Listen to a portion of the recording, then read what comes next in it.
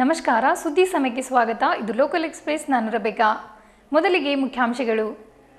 ಜಿಲ್ಲಾಡಳಿತದ ವತಿಯಿಂದ ಅದ್ಧೂರಿಯಾಗಿ ಹಜರತ್ ಟಿಪ್ಪು ಸುಲ್ತಾನ್ ಜಯಂತ್ಯೋತ್ಸವ.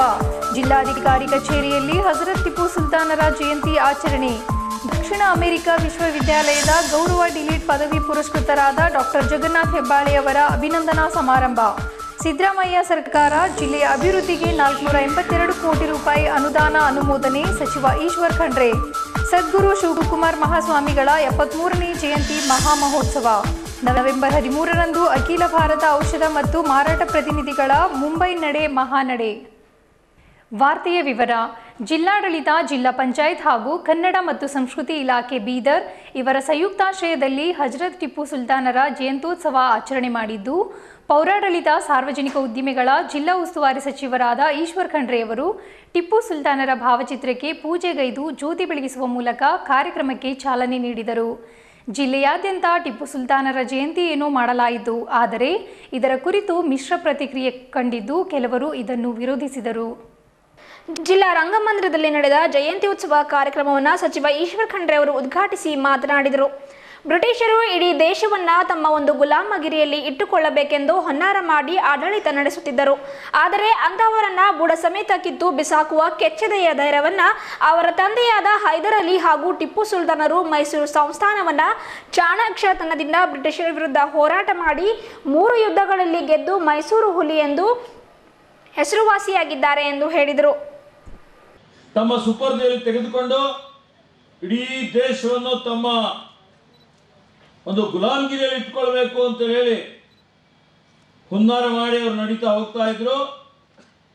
ಪರಿಕೀರನ್ನು ಬುಡ ಸಮೇತ ಕಿತ್ತಾಕ್ಬೇಕು ಅನ್ನುವಂಥ ಒಂದು ಸ್ವಾಭಿಮಾನ, ಒಂದು ಕೆಚ್ಚದೆ ಇಟ್ಕೊಂಡು ಅತ್ಯಂತ ಧೈರ್ಯದಿಂದ, ಶೌರ್ಯದಿಂದ ಅವರ ತಂದೆ ಹೈದರ್ ಅಲಿ ಮತ್ತು ಟಿಪ್ಪು ಸುಲ್ತಾನ್ರವರು ಮೈಸೂರು ಸಂಸ್ಥಾನ ಯಾವ ಸಂದರ್ಭದಲ್ಲಿ ದುರ್ಬಲವಾಗ್ತಾ ಇತ್ತು ಅಂತ ಸಂದರ್ಭದಲ್ಲಿ ಅವರು ಇವತ್ತಿನ ದಿವಸ ದಳಪತಿಯಾಗಿ ಹೈದರಲ್ಲಿ ಅವರು ಕೆಲಸ ಮಾಡಿ ಇವತ್ತು ಅದೇ ರೀತಿಯಲ್ಲಿ ಅದೇ ಒಂದು ಚಾಣಾಕ್ಷಣವನ್ನು ಟಿಪ್ಪು ಸುಲ್ತಾನ್ರವರು ಒಬ್ಬ ಹೋರಾಟ ಮಾಡಿ ಮೂರು ಯುದ್ಧಗಳನ್ನು ಮಾಡ್ತಾರೆ ಬ್ರಿಟಿಷರ ವಿರುದ್ಧ.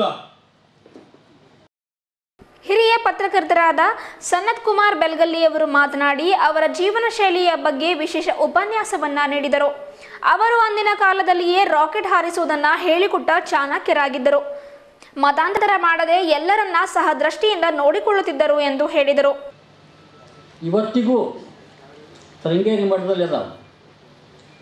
ಮೈಸೂರಿನ ರಾವ್ ಬಹದ್ದೂರ್ ನರಸಿಂಹಾಚಾರ್ಯರು ಹತ್ತೊಂಬತ್ತು ನೂರ ಹದಿನಾರರಲ್ಲಿ ಶೃಂಗೇರಿ ದೇವಾಲಯದಲ್ಲಿ ಸುಮ್ಮನೆ ಹಳೆ ಕಡತಗಳನ್ನು ಹುಡುಕಾಡುವಾಗ ಆ ಪತ್ರಗಳು ಅವ್ರ ಕೈಗೆ ಸಿಕ್ತು.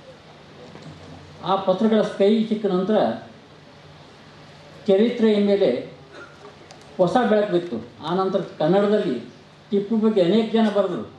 ತಿರುಮಲೆ ತಾತಾಚಾರ್ಯ ಶರ್ಮ ಅವರು ಬರೆದಿದ್ದಾರೆ. ಮತ್ತು ಹಲವಾರು ಜನ ಬರೆದಿದ್ದಾರೆ ಇವತ್ತು ಕನ್ನಡದಲ್ಲಿ. ಟಿಪ್ಪು ಅವ್ರ ಕೊಡುಗೆ ಏನಿದೆ? ಅವರು ಸರ್ವಧರ್ಮ ಸಹಿಷ್ಣು ಆಗಿದ್ದರು ಅವರಲ್ಲಿ ಕೆಲವೊಂದು ಅತಿರೇಕಗಳು ಕೇರಳದಲ್ಲಿ ಯಾಕಾಯಿತು ಅಂತಂದರೆ ಕೇರಳದಲ್ಲಿರುವಂಥ ನಂಬೂದ್ರಿ ಜಮೀನ್ದಾರರು, ಅಲ್ಲಿ ಹೆಣ್ಮಕ್ಕಳು ದಲಿತ ಹೆಣ್ಮಕ್ಳು, ಬಡವರ ಹೆಣ್ಮಕ್ಳು, ಶೂದ್ರ ಹೆಣ್ಮಕ್ಳು, ಎದೆ ಮೇಲೆ ಬಟ್ಟೆ ಹಾಕಬಾರ್ದು, ಚರಗ ಹಾಕೋಬಾರ್ದು ಬರೀ ಎದೆಯಲ್ಲಿ ಓಡಾಡಬೇಕು ಅನ್ನುವಂಥ ಒಂದು ಕಟ್ಟುಪಾಡುಗಳನ್ನು ವಿಧಿಸಿದರು. ಅದಕ್ಕಾಗಿ ಅಲ್ಲಿ ಟಿಪ್ಪು ಸುಲ್ತಾನ್ ಅವರು ಕೇರಳದಲ್ಲಿ ಬಲಪ್ರಯೋಗವನ್ನು ಮಾಡಿ ಹೆಣ್ಮಕ್ಳಿಗೆ ಅವಮಾನ ಆಗಬಾರ್ದು, ಹೆಣ್ಮಕ್ಳು ಬಟ್ಟೆ ಹಾಕಬೇಕು ಅಂಥೇಳಿ ಒಂದು ಕಾನೂನನ್ನು ಅವರು ತೊಗೊಂಡು ಬಂದರು. ಶಾಸಕ ರಹೀಂ ಖಾನ್ ಅವರು ಮಾತನಾಡಿ, ಇಡೀ ಜೀವನ ಭಯದಿಂದ ಇನ್ನೊಬ್ಬರ ನೆರಳಲ್ಲಿ ಬಾಳುವುದಕ್ಕಿಂತ ಎರಡೇ ದಿವಸ ಬಾಳಿದರೂ ಹುಲಿಯಾಗಿ ಬದುಕಬೇಕು ಎಂದು ಹೇಳಿದರು. ಅವರು ಸಮಾಜೋಧಾರಕ ಕೆಲಸಗಳನ್ನು ಮಾಡಿದ್ದಾರೆ ಎಂದು ಹೇಳಿದರು. ಈ ಸಂದರ್ಭದಲ್ಲಿ ಜಿಲ್ಲಾ ಪಂಚಾಯತ್ ಅಧ್ಯಕ್ಷರಾದ ಭಾರತ್ಬಾಯಿ ಮಲ್ಲಿನಾರ್ ಶೇರಿಕಾರ್, ನಗರಸಭೆ ಅಧ್ಯಕ್ಷರಾದ ಶಾಲಿಂದ್ರಾಜು ಚಿಂತಾಮಣಿ, ಕಂಠೀರವ ಸ್ಟೇಡಿಯಂ ನಿಗಮದ ಅಧ್ಯಕ್ಷರಾದ ಮೀನಾಕ್ಷಿ ಸಂಗ್ರಾಮ್, ನಗರಾಭಿವೃದ್ಧಿ ಪ್ರಾಧಿಕಾರದ ಅಧ್ಯಕ್ಷರಾದ ಸಂಜಯ್ ಜಾಗಿದ್ದಾರ್, ಮಾಜಿ ಶಾಸಕರಾದ ಮೊಹಮ್ಮದ್ ಲೈಕುದ್ದೀನ್, ಪೊಲೀಸ್ ವರಿಷ್ಠಾಧಿಕಾರಿ ದೇವರಾಜ್ ಡಿ, ಅಪರ ಜಿಲ್ಲಾಧಿಕಾರಿಗಳಾದ ಡಾಕ್ಟರ್ ಡಿ ಷಣ್ಮುಖ್ ಸೇರಿದಂತೆ ಹಲವು ಗಣ್ಯರು, ಮುಖಂಡರು ಉಪಸ್ಥಿತರಿದ್ದರು. गीदड़ के ज़िंदगी जीने से अच्छा है, शेर के दो दिन जीना। तो हमेशा एक ईमानदारी से और सभी लोगों को लेके, और हमारा इस्लाम, हमारा धर्म भी फाउंडेशन यही सिखाता है। ये क्लियर कट कुरान में और हमारा अल्लाह बोला है। और हर एक को मदद करे बोल के बोला है। वहाँ पे जात पात का कतई नाम नहीं आया। किसी जगह पे भी जात पात का नाम नहीं है कुरान में, हमारे इस्लाम धर्म में। कि तुम हर इंसानियत को हर इंसान को मदद करो। किसी को दुख मत दो। ला, लास्ट में यहाँ तक बोला अगर रोड पे पत्थर पड़ा है या कांटा पड़ा है किसी को नुकसान पहुँचा है तो उसको हटाने की हिदायत है स्ट्रिक्टली हिदायत है। जब जिसका फाउंडेशन ही जिसका धर्म ही जो चीज़ नहीं है और हज़रत टीपू सुल्तान के बारे में लोग बदनाम करते हैं उसको पॉलिटिकली इशू बना के अदर कम्युनिटी को उसको गलत मैसेज देने के लिए गलत तरीका यूज़ करने के लिए ये लोग करना चाहते हैं, लेकिन ज़रूर, इंशाअल्लाह, जिसके साथ खुदा है, जिसके इंसानियत में सारे बंदों को, जिसका कंट्रोल दिलों पे खुदा करता है, ज़रूर हज़रत टीपू सुल्तान के बारे में सभी को मालूम है, और जितना ये लोग करते जाएँगे, उतनी ज़्यादा मोहब्बत होते जाएँगी लोगों में। ಜಿಲ್ಲಾಧಿಕಾರಿ ಕಚೇರಿಯಲ್ಲಿ ಹಜರತ್ ಟಿಪ್ಪು ಸುಲ್ತಾನರ ಜಯಂತ್ಯೋತ್ಸವ ಹಮ್ಮಿಕೊಂಡಿದ್ದು, ಉಗ್ರಾಣ ನಿಗಮದ ಅಧ್ಯಕ್ಷರು ಹಾಗೂ ಶಾಸಕರಾದ ರಹೀಂ ಖಾನ್ ಅವರು ಟಿಪ್ಪು ಸುಲ್ತಾನರ ಭಾವಚಿತ್ರಕ್ಕೆ ಮಾಲಾರ್ಪಣೆಯನ್ನು ಮಾಡಿ ಪೂಜೆ ಸಲ್ಲಿಸಿ, ಜ್ಯೋತಿ ಬೆಳೆಸುವುದರೊಂದಿಗೆ ಅದ್ಧೂರಿಯಾಗಿ ಜಯಂತಿಯ ಆಚರಣೆ ಮಾಡಿದರು.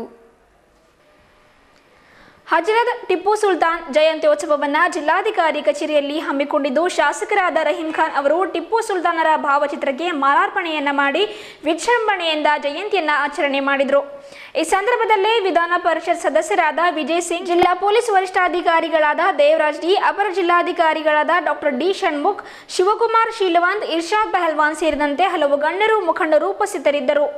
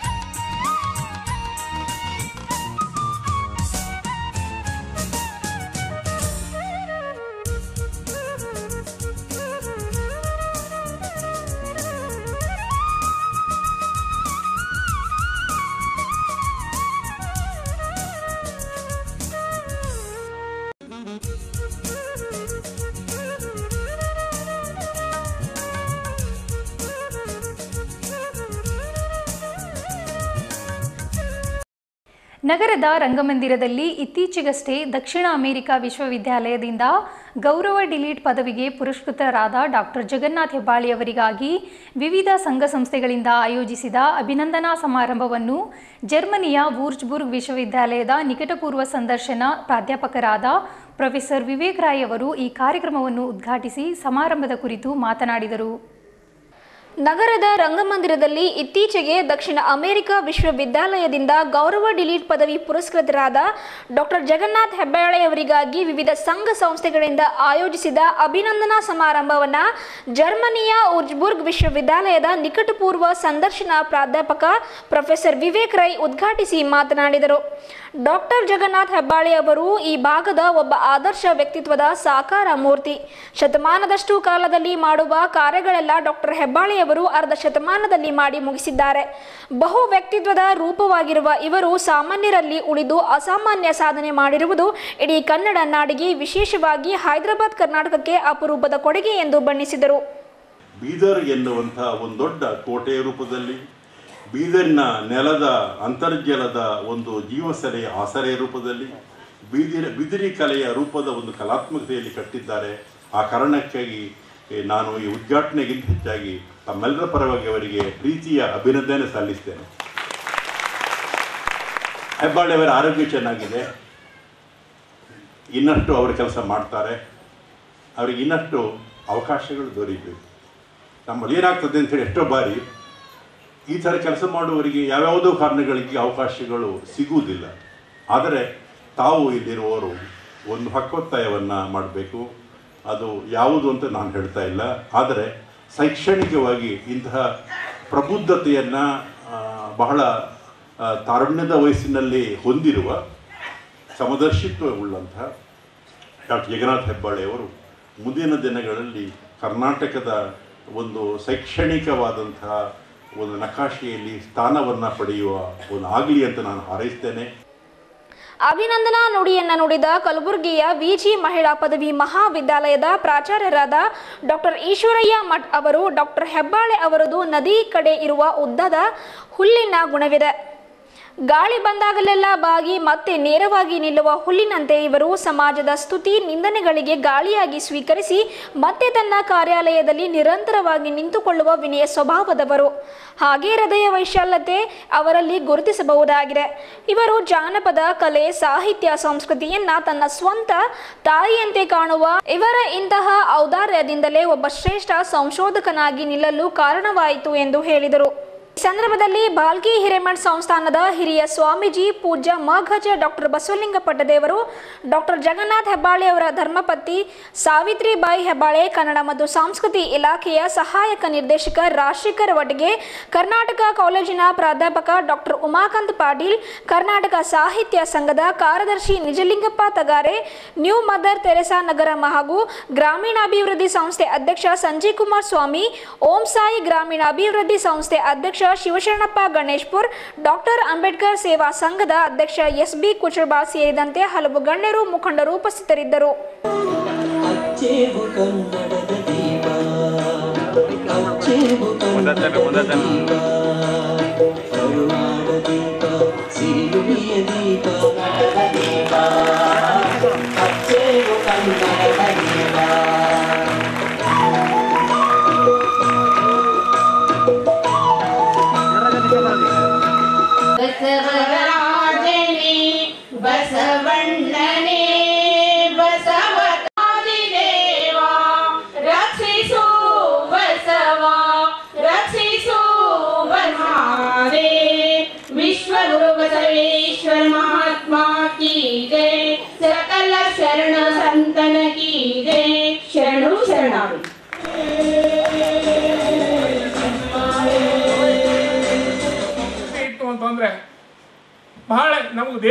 ಕಟಾಕ್ಷಿ ಇರ್ತದೆ. ನಮ್ದು ಏನಾದರೂ ಸ್ವಾರ್ಥ ಇತ್ತು ಅಂತಂದ್ರೆ ಖಂಡಿತವಾಗಿಯೂ ಅಲ್ಲಲ್ಲಿಯೂ ಕೂಡ ಅಡೆತಡೆಗಳನ್ನು ಬರ್ತವೆ. ನಾನು ಯಾವೆಲ್ಲ ಹೇಳ್ತೀನಿ, ಸಂಘಟನೆಯಲ್ಲಿ ನಾವು ಬೆತ್ತಲೆ ತರ ಇರಬೇಕು ಅಂತ. ಅಂಬೇಡ್ಕರ್ ಸರ್ಕಲ್ನಲ್ಲಿ ಇದ್ದರೂ ಕೂಡ ನಮ್ಮ ಕಡೆ ಯಾವನು ಬೆರಳು ಮಾಡಬಾರದು ಅಂತ. ಹಾಗೆ ನಾವು ನಡ್ಕೊಂಡು ಬಂದಿದ್ದೇವೆ. ಅದು ಯಾವುದು ಸ, ಯಾವುದು ಸಭೆ ಸಮಾರಂಭ, ಬಹುಶಃ ನಾನು ಒಂದೂವರೆ ಕೋಟಿ ರೂಪಾಯಿ ಸಮ್ಮೇಳನವನ್ನು ಮಾಡಿದ್ದೀನಿ, ಬಹಳ ಇದು ಗರ್ವ ಅಲ್ಲ ಅಹಮ್ಮಿಕೆ ಅಲ್ಲ, ಧಿಮಾಕ್ ಅಂತಲ್ಲ ಬಹಳ ವಿನಯಪೂರ್ವಕವಾಗಿ ಹೇಳ್ತೇನೆ. ಒಂದೂವರೆ ಕೋಟಿ ರೂಪಾಯಿ ಖರ್ಚು ಮಾಡಿದ್ದೀವಿ. ಸುಮಾರು ಮೂವತ್ತೆಂಟು ಕಮಿಟಿ ಇದ್ದು ಇವತ್ತಿನ ತನಕ ಎರಡು ಸಾವಿರ ಆರು, ಇವತ್ತಿನ ತನಕ ಒಬ್ಬವನು ಕೂಡ ನಮ್ಮ ಕಡೆ ಕೆ- ಏನು ಬೆಳ್ಳ ಮಾಡಿ ತೋರಿಸಿಲ್ಲ. ತೊಂಬತ್ತು ಲಕ್ಷ ರೂಪಾಯಿ ಖರ್ಚು ಮಾಡಿ ಅಖಿಲ ಭಾರತ ಜಾನಪದ ಸಮ್ಮೇಳನವನ್ನು ಮಾಡಿದ್ದೀವಿ. ಆದರೆ ಮೂವತ್ತೆರಡು ಕಮಿಟಿಗಳಿದ್ದು ನಮ್ಮ ಕಡೆ ಯಾವನು ಬೆಳ್ಳ ಮಾಡಿ ತೋರಿಸಿಲ್ಲ. ಯಾಕ ಅಂತಂದ್ರೆ ಆ ಉಚಿತನ ಮಾಡಿಲ್ಲ. ಅದು ಏನದ?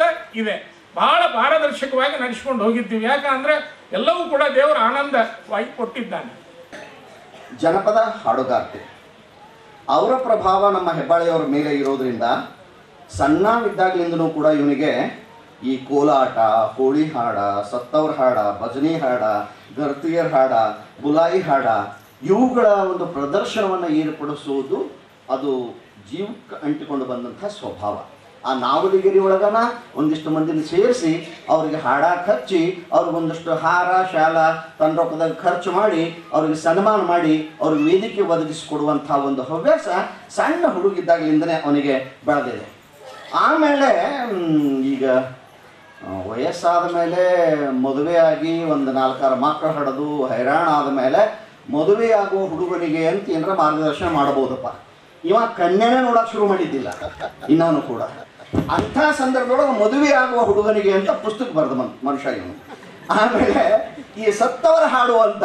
ಈ ಏನು ಸತ್ತವ್ರು ಹೆಂಗೆ ಆಡ್ತಾರೋ ಅಂತ ನಾವು ಅವ್ರು ಏನು ಏನು ತರ್ತೇವೋ ನೀನು ಅಂತ ನಾವು ಗೆಳೆಯರು ಬೈತಿದ್ವಿ ಏನೋ ಬಂದು ತೊಗೊಂಡು ಬರ್ತೀಯ ಸತ್ತಾಗ ಏನು ಹಾಡ್ತಾರೋ ಆ ಹಾಡಿ ಹಾಡಿ ಹೇಳ್ತಾರೆ ನೋಡ್ರಿ. ಆ ಹಾಡಿ ಹಾಡಿ ಅಳು ಅಳುವ ಹೊತ್ತಿನಾಗ ಸತ್ತ ವ್ಯಕ್ತಿಯ ವ್ಯಕ್ತಿತ್ವದ ಚಿತ್ರಣ ಇರ್ತದೆ. ಅದನ್ನ ಪುಸ್ತಕ ಮಾಡಬೇಕಂತ ಹೊಡೆದದ್ದು ಅವನ ದೊಡ್ಡ ಇಂಟ್ಯೂಷನ್ ಅಂತ ನಾನು ಭಾವಿಸ್ಕೊಳ್ತೇನೆ. ಯಾಕಂದ್ರೆ ಸಾವು ಬದುಕಿನೊಳಗೆ ಬಹಳ ದೊಡ್ಡ ಘಟನೆ ಅದು. ಆ ಸತ್ತ ಸಂದರ್ಭದೊಳಗೆ ಅಳೋ ಹೊತ್ತಿಗೆ ಜನ ಯವ್ವ, ಒಂದು ಒಬ್ಬರಿ ಕೆಟ್ಟ ಮಾತಾಡಿದ ತಲ್ಲಿ, ಯಪ್ಪ, ಎಷ್ಟು ಅಧಿಕಾರ ಇದ್ರೂ ಎಷ್ಟು ರೊಕ್ಕ ಗಳಿಸಿದ್ರು ಕೂಡ ಯವ್ವ ಯಕ್ಕನತನ ಮಾತಾಡ್ತಿದ್ ನೋಡು. ದೇವ್ರಂತ ಮನುಷ್ಯ ಇದ್ನೇ ಅಪ್ಪ ಅಂತ ಹೇಳ್ತಿರ್ತಾರೆ ಜನ ಅಳೋ ಹೊತ್ತಾಗ. ಬಹಳ ವರ್ಷಗಳಿಂದ ನೆನೆಗುದಿಗೆ ಬಿದ್ದಂತಹ ಕಾರಂಜ ಜಲಾಶಯ ಯೋಜನೆಯು ನಮ್ಮೆಲ್ಲ ಶಾಸಕ ಅಧಿಕಾರಿಗಳ ಶ್ರಮದ ಒತ್ತಡದ ಮೇರೆಗೆ ಈ ಯೋಜನೆಯನ್ನು ಪ್ರಾರಂಭ ಮಾಡಲೇಬೇಕು ಎಂದು ಪಟ್ಟು ಹಿಡಿದು ಮುಖ್ಯಮಂತ್ರಿಗಳೊಂದಿಗೆ ವಿಶೇಷ ಸಭೆಯನ್ನು ನಡೆಸಿ, ನನ್ನ ಸಚಿವ ಸಂಪುಟದಲ್ಲಿ ನಾಲ್ಕುನೂರ ಎಂಬತ್ತೆರಡು ಕೋಟಿ ಮೊತ್ತದ ಆಡಳಿತಾತ್ಮಕ ಅನುಮೋದನೆಯನ್ನು ಪಡೆದಿದ್ದೇನೆ. ಇಂತಹ ಬೃಹತ್ ಯೋಜನೆ ಬೀದರ್ ಜಿಲ್ಲೆಯ ಕನಸಾಗಿತ್ತು. ಮಾರ್ಚ್ ತಿಂಗಳೊಳಗಾಗಿ ಮುಖ್ಯಮಂತ್ರಿಗಳನ್ನು ಆಹ್ವಾನಿಸಿ ಯೋಜನೆಗೆ ಚಾಲನೆ ನೀಡಲಾಗುವುದು ಎಂದು ನಡೆದ ಸುದ್ದಿಗೋಷ್ಠಿಯಲ್ಲಿ ಸಚಿವ ಈಶ್ವರ್ ಖಂಡ್ರೆಯವರು ತಿಳಿಸಿದರು.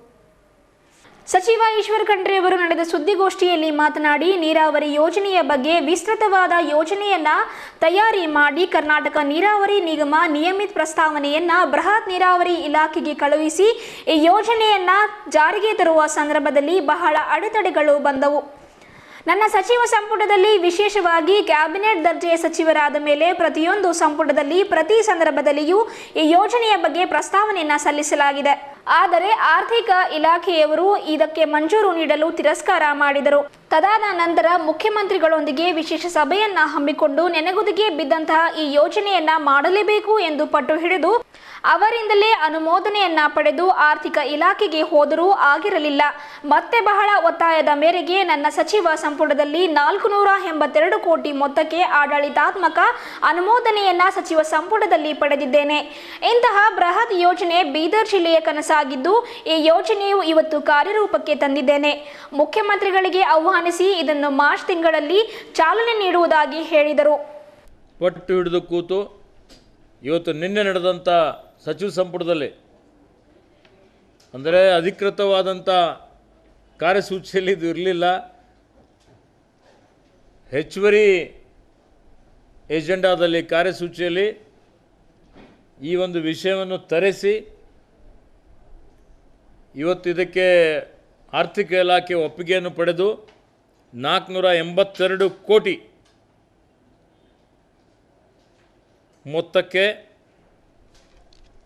ಆಡಳಿತಾತ್ಮಕ ಅನುಮೋದನೆಯನ್ನು ಸಚಿವ ಸಂಪುಟದಲ್ಲಿ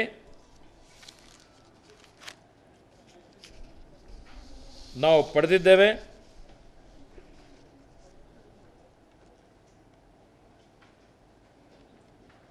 ಈ ಇಂಥ ಒಂದು ಬೃಹತ್ ಆದಂಥ ಯೋಜನೆಯನ್ನು ಬೀದರ್ ಜಿಲ್ಲೆ ಜನರ ಭಾಳ ಸುಮಾರು ವರ್ಷದಿಂದ ಕನಸಿತ್ತು.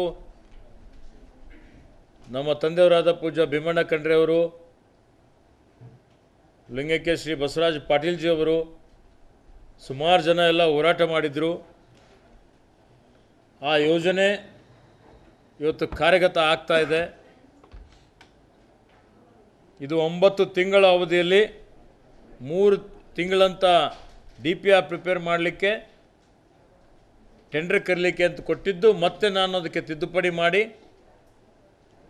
ಒಂದು ತಿಂಗಳ ಒಳಗಾಗಿ ಡಿ ಪಿ ಆರ್ ಮಾಡಿ, ಶಾರ್ಟ್ ಟರ್ಮ್ ಟೆಂಡರ್ ಮಾಡಿ, ಇನ್ನೂ ಒಂದು ತಿಂಗಳ ಒಳಗಾಗಿ ಕಾರ್ಯಾದೇಶ ಕೊಟ್ಟು ನಾವು ಮುಖ್ಯಮಂತ್ರಿಗೆ ಇಲ್ಲಿಗೆ ಆಹ್ವಾನ ಮಾಡಿ ಈ ಒಂದು ಯೋಜನೆಗೆ ಚಾಲನೆ ಕೊಡುವಂಥದ್ದು. ಈ ಮಾರ್ಚ್ ಒಳಗಾಗಿ ಆಯವ್ಯದಲ್ಲಿ ಅರವತ್ತೈದು ಕೋಟಿ ರೂಪಾಯಿ ಅನುದಾನ ಮೀಸಲಿಡಲಾಗಿದೆ. ಮುಂದಿನ ವರ್ಷ ಸಂಪೂರ್ಣ ಇದನ್ನು ಹನ್ನೆರಡು ತಿಂಗಳ ಒಳಗಾಗಿ, ಮುಂದಿನ ನವೆಂಬರ್ ತಿಂಗಳ ಒಳಗಾಗಿ ಈ ಯೋಜನೆ ಪೂರ್ತಿ ಮಾಡಿ ಬೀದರ್ ಜಿಲ್ಲೆ ಏನು ಸುಮಾರು ಎಪ್ಪತ್ತೈದು ಸಾವಿರ ಎಕರೆ ಭೂಮಿಗೆ ನೀರು ಹರಿಸುವಂಥ ಒಂದು ವ್ಯವಸ್ಥೆ ಇವತ್ತು ನಾವು ಮಾಡ್ತಾ ಇದ್ದೇವೆ. ಇಂಥ ಒಂದು ಯೋಜನೆ ಹಿಂದುಳಿದಂಥ ಬೀದರ್ ಜಿಲ್ಲೆಗೆ ಒಂದೇ ಸಲ ನಾಲ್ಕುನೂರ ಎಂಬತ್ತೆರಡು ಕೋಟಿ ರೂಪಾಯಿ ಅನುದಾನ ಇಲ್ಲಿಯವರೆಗೆ ಯಾವುದೇ ಸರ್ಕಾರ ಕೊಟ್ಟಿರಲಿಲ್ಲ. ನಮ್ಮ ಸರ್ಕಾರ ಕೊಟ್ಟಿದೆ. ಸನ್ಮಾನ್ಯ ಸಿದ್ದರಾಮಯ್ಯನವರು ಇದಕ್ಕೆ ಅನುಮೋದನೆ ಕೊಟ್ಟಿದ್ದಾರೆ. ಅದಕ್ಕಾಗಿ ನಮ್ಮೆಲ್ಲರ ಪರವಾಗಿ, ಬೀದರ್ ಜಿಲ್ಲೆಯ ಮಹಾಜನತೆ ಪರವಾಗಿ, ನಾವೆಲ್ಲ ಶಾಸಕರ ಪರವಾಗಿ, ಜನಪ್ರತಿನಿಧಿಗಳ ಪರವಾಗಿ ಸನ್ಮಾನ್ಯ ಮುಖ್ಯಮಂತ್ರಿಯವರಿಗೆ ಈ ಪತ್ರಿಕಾಗೋಷ್ಠಿ ಮುಖಾಂತರ ನಾನು ಅಭಿನಂದನೆಗಳನ್ನು ಸಲ್ಲಿಸ್ತಾ ಇದ್ದೇನೆ.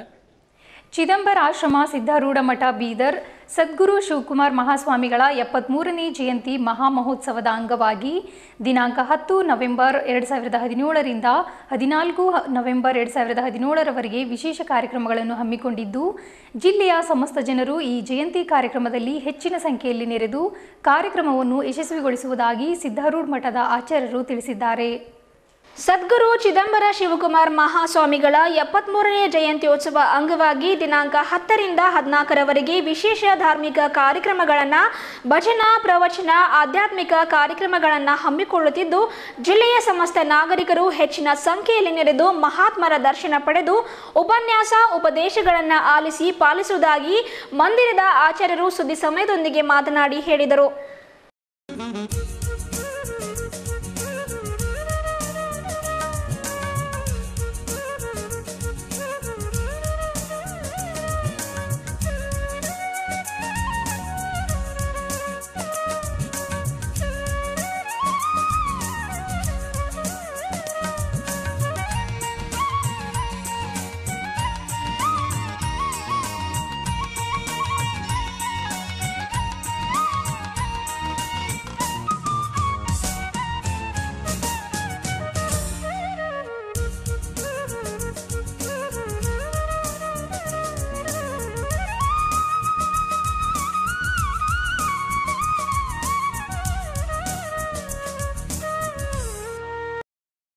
ಬೀದರ್ ನಗರದ ಚಿದಂಬರಾಶ್ರಮ ಶ್ರೀ ಸಿದ್ಧಾರೂಢ ಮಠದಲ್ಲಿ ಸದ್ಗುರು ಶ್ರೀ ಶಿವಕುಮಾರೇಶ್ವರ ಮಹಾಸ್ವಾಮಿಗಳವರ ಎಪ್ಪತ್ತ್ ಮೂರನೇ ಜಯಂತಿ ಮಹಾಮಹೋತ್ಸವವು ಇದೇ ತಿಂಗಳದ ಹತ್ತನೇ ತಾರೀಕಿನಿಂದ ಹದಿನಾಲ್ಕನೇ ತಾರೀಕಿನವರೆಗೆ ಪೂಜ್ಯ ಸದ್ಗುರುಗಳ ಜಯಂತಿ ಮಹಾಮಹೋತ್ಸವವು ಆಯೋಜಿಸಲಾಗಿದೆ.